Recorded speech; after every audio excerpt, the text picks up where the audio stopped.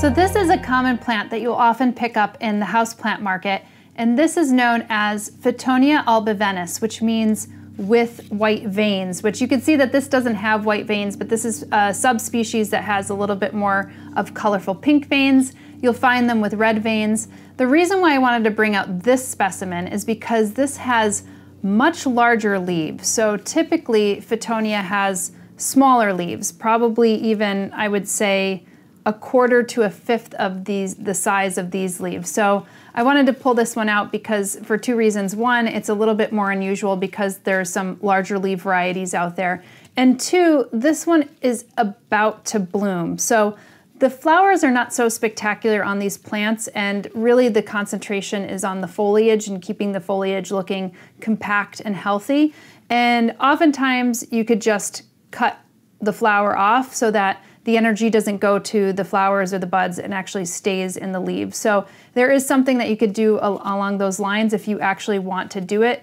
Um, if you ever go to botanic gardens, you will see these kind of growing along the understories, and that is how this plant grows. So it is native to places like Brazil, Bolivia, Ecuador, um, countries along those lines in South America, and you would see this kind of growing on the forest floor, same way that they plant it in botanic gardens. So this doesn't need a tremendous amount of light. This is a plant that is suitable for terrariums.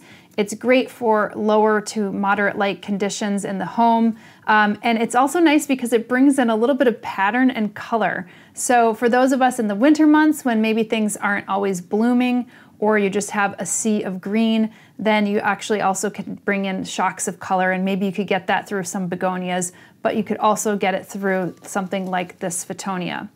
Now, one of the things I'd like to say is that these leaves here, if you've never had a Fittonia, I wouldn't I wouldn't call them semi-succulent, but they do have a little bit of resiliency to them. So this plant doesn't really dry out all that all that um, easily compared to some kind of tropical varieties that uh, you know that uh, you might be accustomed to growing. Also, it has a little bit more of a semi-succulent stem. So it doesn't mind a little bit of drying out in between waterings, but I would definitely keep it a little bit more moist than I would on the dry side. So if you're having a, a little less of a porous mixture in your soil, so a little bit more of a peaty mixture in order to be able to maintain some of that wetness and that moisture in the soil, then I think that'll be better for this plant.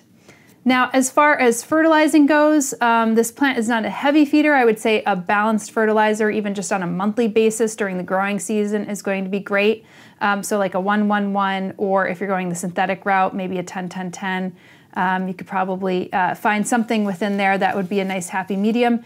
And again, for um, for anybody who grows this plant, you know, you could probably grow it in a terrarium and that's great, but it will start to form and spread and, uh, and, and, kind of has this like clumpy kind of formation. It could have a tendency to get larger, but if you want to scape it and keep it kind of this globular kind of looking plant and very well maintained, then you're going to want to clip it back.